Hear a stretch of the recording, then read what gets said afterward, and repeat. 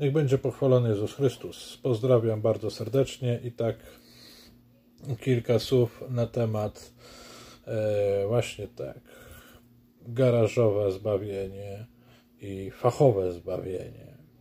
E, zbawienie protestanci mówią, że rzekomo Kościół mówi, że Kościół zbawia. To taki a pan Adrian tutaj Woliński tak pisze, inni mu tam wtórują. E, ja zadałem panu Adrianowi pytanie, a kto mówi, że Kościół zbawia, prawda? Nikt tego nie mówi, Kościół katolicki tego nie naucza, mm, tylko to jest wasze niezrozumienie doktryny katolickiej, która mówi, że w Kościele jest zbawienie.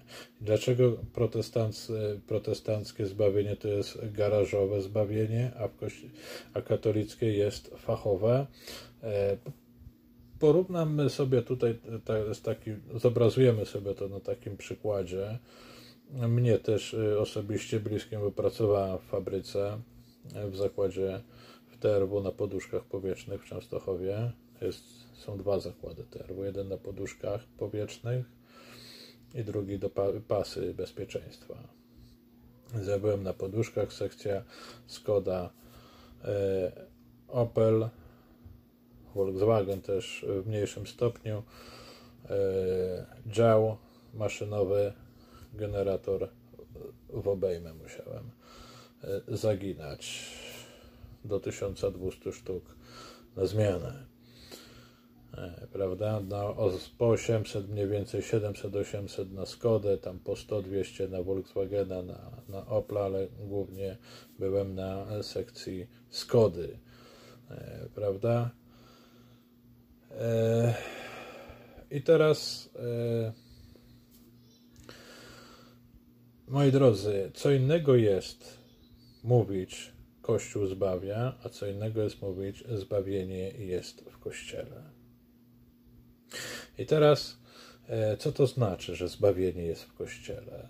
To znaczy, że Bóg wszystkie narzędzia, albo inaczej, bardziej biblijnie. Święty Piotr w drugim liście pisze, że Bóg udziela nam hojnie wszystkiego tego, co jest y, potrzebne, abyśmy się dzięki temu stali uczestnikami boskiej natury. I tego wszystkiego udziela nam właśnie y, w Kościele, który On założył i którego Chrystus jest głową.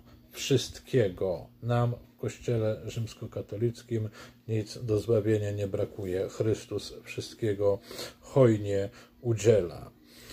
E, prawda? Więc sam Kościół nie zbawia. I teraz tak, ja należałem, pracowałem, więc można powiedzieć, należałem do ekipy pracującej TRW, miałem e, e, tą kartkę, kartę, tą kartę chipową, nie? że trzeba było tak odbić się przy wejściu i przy wyjściu, nie? Na początku zmiany i na koniec zmiany. E, I teraz tak, e, pracę dostałem za darmo, ja nie musiałem za tą pracę zapłacić, prawda? Więc stał, e, zostałem przyjęty z ulicy i zostałem skierowany na, na, na swoją sekcję, nie? Zostałem pouczony przez instruktorów, miałem swoją liniową, prawda? Odpowiedzialną i tam byłem pouczony. Tam zostały mi dane wszystkie maszyny, wszystkie narzędzia. Moim zadaniem było tylko e, umie, no po prostu wykonywanie swoich obowiązków, prawda? I teraz właśnie wszystko jest e, za podane na tacy w takim zakładzie, maszyny, towar. Ja pracuje. I teraz sama przynależność, sama ta e, karta e, do odbijania się nie czyni mi, nie daje mi zapłaty, tak? Bo ja mogę dostać, ale żeby otrzymać wypłatę, to trzeba przepracować cały miesiąc, tak? Więc e, to, co wy mówicie, że takie zbawienie, o, to jest tak jakby właśnie zbawienie za darmo, to jest takie, o, że macie tą kartę, ale nie musicie pracować. No nie, musicie pracować, bo sama karta wypłaty wam nie da. Trzeba przepracować. I teraz w tym zakładzie pracy mam wszystko, co jest potrzebne do zbawienia. a co najważniejsze, mam techników, e, mam inspektorów nad sobą, którzy kontrolują i badają, wiedząc lepiej ode mnie, jak, jak to cały proces idzie, czuwają nad tym, aby y, wszystkie generatory y, były odpowiednio złączone w obejmie, żeby nie było luzów, prawda, żeby później wsadzić poduszkę, no nie chcę tu mówić o procesach, e, prawda, więc e, jestem prowadzony. Mając wszystko, mam też prowadzenie. I podobnie jest w kościele. W kościele mam wszystkie narzędzia, mam instruktorów, mogę być pouczony, skorygowany, e, poprawiony, naprowadzany, abym e, po prostu był, e, mógł prawidłowo kroczyć ku zbawieniu. Natomiast garażowe zbawienie, takie protestanckie, to jest właśnie próba szycia poduszki powietrznej po swojemu w garażu albo w piwnicy. I to jest właśnie protestantyzm. To jest takie garażowe zbawienie. Zbawiam się po swojemu. Nie chodzę do zakładu pracy, nie należę do żadnego kościoła, prawda, albo do jakiegoś wymyślonego, prawda, ale tak jak y, mówiliśmy ostatnio, że Kościół nie zbawia, że trzeba być wolnym i tak dalej, no to jest właśnie takie zbawianie się na własną rękę niby coś tam z Pisma Świętego tam wiem, tam Pan Jezus mnie kochał, umarł na krzyżu, no to dobra, będę się tak zbawiał. To jest tak samo, jakby właśnie ktoś miał jakieś tam pojęcie właśnie o, o poduszkach powietrznych i chciał je szyć sam w garażu. Można próbować, ale jaki będzie efekt? Ano taki, że no właśnie, że nie zadziała, prawda? Więc można próbować, y, ale y, skutek może być, no właśnie, brak maszyn, brak odpowiednich materiałów, poduszka powietrzna to nie jest e, z flaneli szyta, nie. E, odpowiednia ilość e, specjalnych nici na centymetr, odpowiednia ilość szwów. Nie może być za dużo, żeby nie osłabić i nie może być za mało prawda? Bo jeżeli się da za, za mało, no to po prostu ta przy eksplozji tą poduszkę rozerwie, ona mnie nie, nie osłoni. Tak samo jak się da za dużo, to po prostu też e, ona musi mieć odpowiednią wytrzymałość do eksplozji, tak żeby eksplodując nie rozerwała się, tylko mnie broniła. Są przypadki, że jak poduszka eksploduje, to po prostu i tak się wali głową w kierownicę. Dlaczego? Bo ona eksploduje, ale się zaraz rozrywa na skutek osłabienia materiału, bądź przez złą liczbę szwów na centymetr, właśnie za małą albo za dużą i ten materiał jest za słaby, więc musi być, o ile dobrze pamiętam, 8 e, szwów na 6, 6 do 8, w zależności od, e, od poduszki, to były skody i tak dalej, nie? Bo od wielkości poduszki. E, określona liczba szwów. I teraz jest inspektor, który chodzi i patrzy, nie? Tam babcie na tych maszynach to one na obrotach 360 robiły, nie? No to, no to już tylko...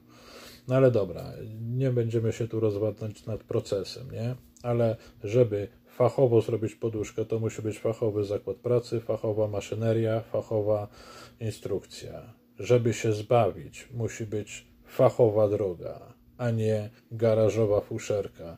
I właśnie taką garażową fuszerkę proponują nam protestanci. Zbawianie się na własną rękę, skombinuje, zmajstruje coś w garażu. I protestanckie zbawienie to jest takie właśnie majstrowanie garażowe, bez narzędzi, bez materiałów, tylko takie yy, właśnie mm, składanie z byle czego, byle co. Natomiast yy, Kościele katolickim jest tak, jak Chrystus zechciał. Mamy wszystko. I tak jak w zakładzie pracy, ja przychodzę na zmianę, ja mam już e, obejmy, ja mam generatory, ja tylko siadam przy maszynie i robię. Wszystko jest mi podane. Zepsuje się coś, maszyna, prawda, dostanie zwolnienia, e, prawda Przycisk mam przy sobie, pyk, za parę minut przychodzi technik. Przerwa w dostawie ogłoszona w zeszycie. Nie robię e, tam 20-15 minut, nie, jak technik to e, usunie awarię. E, a jak jest w protestantyzmie? No właśnie, garażowe majstrowanie, które, no właśnie, czy jest na tyle skuteczne, żeby zapewniło zbawienie? A nawet w kościele, żeby nie było, nawet w kościele, mając wszystko podane, mając prawdę, to jeszcze nie znaczy, że się jest zbawionym, bo nawet poduszki szyte, choć są znacznie pewniejsze niż w garażu, to jednak taka poduszka z zakładu profesjonalnego też może być źle uszyta. Może iść na odstrzał, także katolik wchodząc w kościele też może iść na odstrzał. Czyli może zostać potępiony. Więc yy, Kościół nie zbawia sama przynależność do kościoła nie zbawia, tak samo jak e, sama karta do e, właśnie do tego tam, no, żeby się odbić i tak dalej. Karta zakładowa też nie zbawia. Trzeba pracować codziennie, żeby mieć wypłatę. Sama karta nie da wypłaty. E, więc trzeba pracować.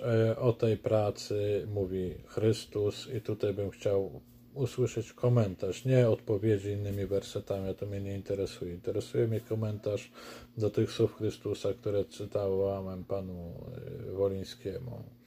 Co mam uczynić, by mieć życie wieczne? No to protestanci mówią, uwierz, już masz za darmo, a Chrystus mówi e, o zachowywaniu przykazań, to czynia będziesz żył. To czyń, a będziesz żył. Zobaczmy na czas. Czyń, abyś żył na wieki, a wy za darmo nic nie robicie. Następnie po przypowieści o Samarytaninie e, Bóg mówi, Jezus mówi, idź i ty czyń podobnie, a więc żeby osiągnąć życie wieczne, gdzie tutaj jest w tych słowach Chrystusa darmowe zbawienie nieutracalne.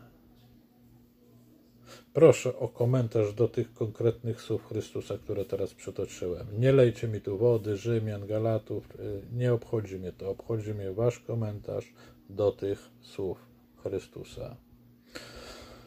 W Kościele jest zbawienie, pewność zbawienia, tylko trzeba regularnie y, właśnie żyć całym sercem, całą duszą, wszystkim tym, co i przyjmować to, co Chrystus nam daje przez Kościół i w Kościele. Tak samo jak chcecie y, zarobić y, pensję, to musicie zasuwać w zakładach pracy, czy tam, gdzie pracujecie. Nikt wam za darmo nie da.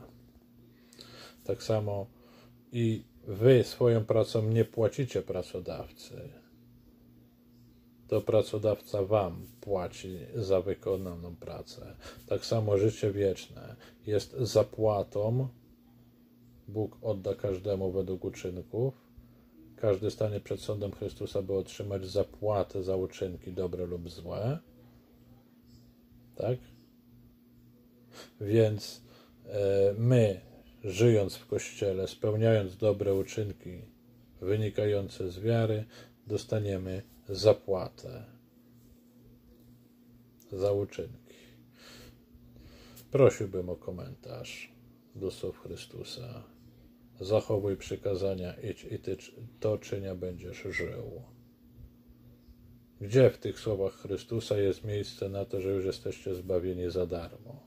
Skoro Chrystus mówi, to czynia będziesz żył, czas przyszły, czyli zachowuj przykazania i idź i ty czyń podobnie, czyli spełniaj uczynki miłosierdzia. Gdzie tutaj jest miejsce na zbawienie za darmo, za nic nie robienie? Pozdrawiam.